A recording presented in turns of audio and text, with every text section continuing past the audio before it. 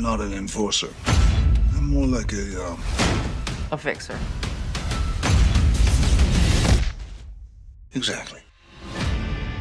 I have to convince a certain person that the body in that trunk out there is indeed Rolo. Something happened to his face?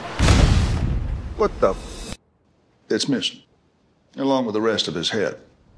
Betrayal's a funny thing. Its very nature is to catch you unaware. You ever heard a ring doorbell? We're under attack. Stan's gone. And you should be too. I've always had one rule, Sal. Be good to the people who were good to you. Be good to yourself, Charlie. And get as far away from here as you can. Pull the trigger, Charlie. He was my second best guy. I'm looking forward to meeting number one.